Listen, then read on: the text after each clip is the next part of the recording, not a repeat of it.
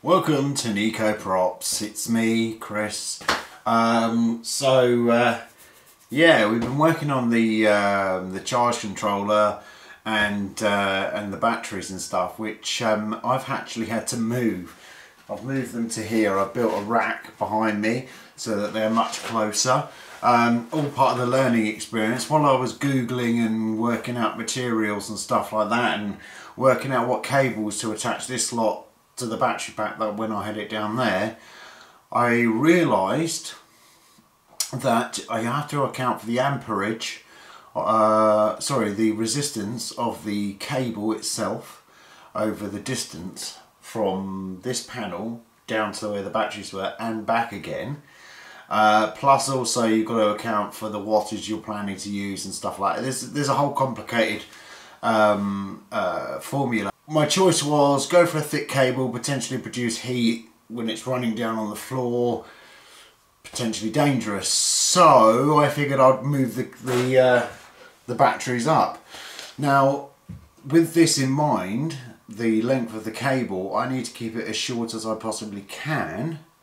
Um, so I'm gonna have I'm gonna rearrange all of this panel as well before I connect it up to the batteries, so that I use the space more efficiently and my cable runs are as short as possible.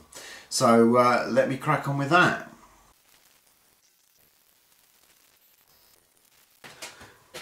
Okay, all the trips are down, so that means they're all off. I've got a 63 on the battery bank at the moment. I'm going to change that out for a higher rating, um, but for now that'll do um, because I'm only running this, I'm not running any power inverter or anything off of it, so I'm not drawing any load, so I should be okay. Um, I've got 40 amp on the charge controller um, off the bar, so uh, it's time to plug this in. Which all of this is off, so nothing should happen, hopefully. So I've got this on camera. I'm going to stand maybe here. Um, I'm in the way of everything. Right. Well, it didn't blow up, so that's main power on. Nothing. Good. Now then, when I turn this trip on, it should turn this on. And it has. It's worked. Uh, we are, says we've got 25 volts in the system. It's currently at 20 degrees in here.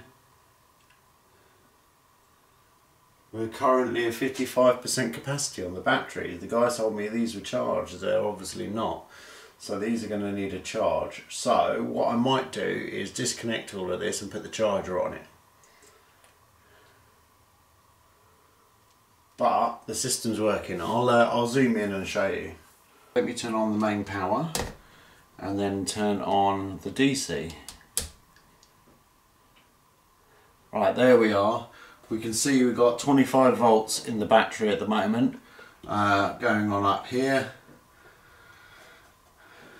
Currently says it's 18 degrees in here. I can verify that from a thermometer across the room. Um, Apparently it's 54%. Now that's not correct, so we need to set those. So, hello there. This is one of the massive panels that uh, I managed to get for about 30 quid each because they've got damage on them, which you can probably see here and down the bottom there. Basically, the glass is broken, but these cells still work. Um, not all of them, I mean there's going to be some obscurity and there's dirt on it, but I tested it out in the sunlight earlier and uh, I got uh, 40, 44 to 46 volts off of it, which is good because it's supposed to be outputting 50, so we're not losing that much. And I got four of these. These are 490 watt uh, Triton um, solar panels, really good solar panels. Um, and yeah, they're supposed to output about 12 amps and about 50 volts each. And I've got four. So uh, should give us a decent amount of power. So I'm going to zoom in, show you some of this damage, um, and then I'll also show you hopefully an amber reading, amber reading, amp reading or a volt reading or something. Hopefully the lights in here are going to be enough to set the solar panel off, but uh, we'll see. If not, I'll uh, have to wait till tomorrow and show you outside. You can see the damage up here. It's completely shattered and dented in. So there's obviously been something that's impacted that, uh, probably on the wind or something like that. And then down the bottom here, we've got some shattering as well. Um, but, I mean, the whole thing's got cracks across the glass, but it doesn't stop the photo cells being exposed. The only thing is, is water can now get in between the two, um, which could cause some issues. But what I'm hoping is the majority of it's okay. What I can do, if I want to preserve the longevity of these panels, is um, seal them with a, a, resin, which I might yet do. I've cut myself a few times on these bits of glass as well, so it might be worth doing that just to kind of deal with the loose stuff as well. Right, let's zoom in for the test. Okay, so we've just got a cheap multimeter, and it is like the cheapest one that you can get. Okay, so I'm going to switch this to DC voltage, uh, 200. Um, this is the negative, so I'm going to pop the negative inside this one, like that, and hope that stays in there. Let's try this again. Yeah, I'm getting 21 off of it in here. So, um, yeah, 21 volts which isn't bad considering I'm getting it off of indoor lighting uh, on a smashed panel. So uh, that's not bad at all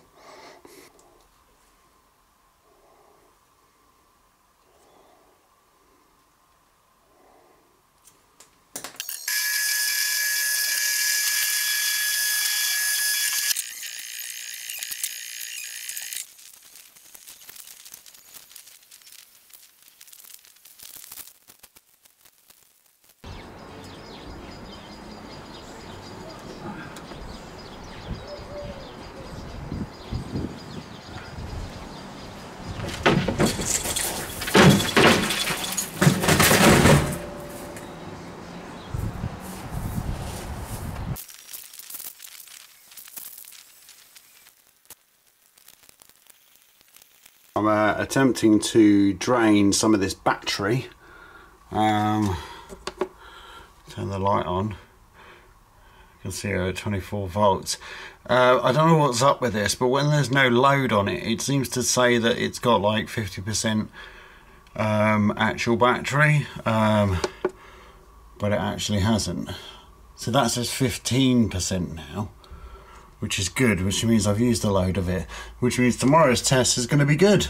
Come so I decided to come down and uh, have a look at the system. It's a very overcast day. The battery bank is full. Um, so we've got 91 volts coming from the PV. Uh,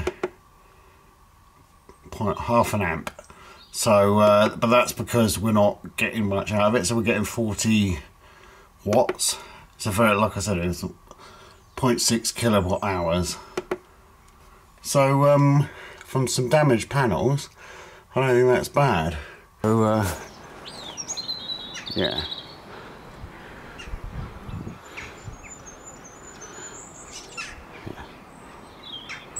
Not a very good day at the moment and there's the solar array up there.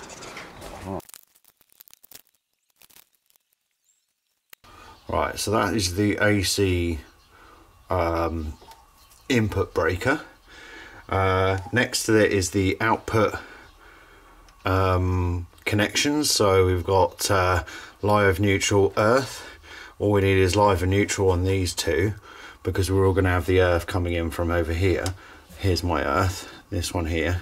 In the UK, we go green and yellow. Um, this section here is for the battery input. You've got plus, minus, and then that's a fuse in the middle there, um, which you could bypass if you had a trip um, as well, but I'm just going to rely on that fuse.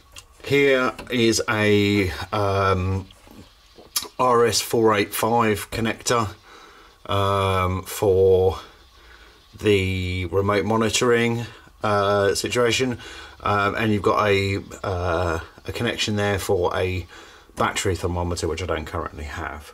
So first things first I need to wire up the battery to here. Oh by the way this little box here that's for what the PV array so I can put some more panels on there or I might put the turbine on there. So the idea is what I'm thinking I'm going to do because I had to take that socket off anyway is I'm going to take the live feed coming in to this remove it and put it in its own box down here and then reroute it into this and then go from this into that consumer unit.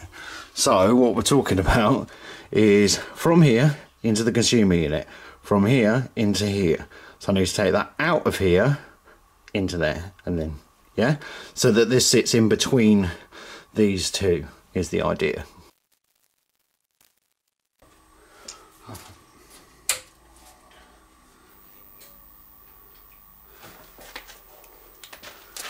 We are now running 100% just off the batteries in the workshop. Alright, the trip switch for the main feed, which is here, is off. I've rerouted the power back into there so everything goes through the inverter. So everything in here now, anything I turn on will be run through this inverter.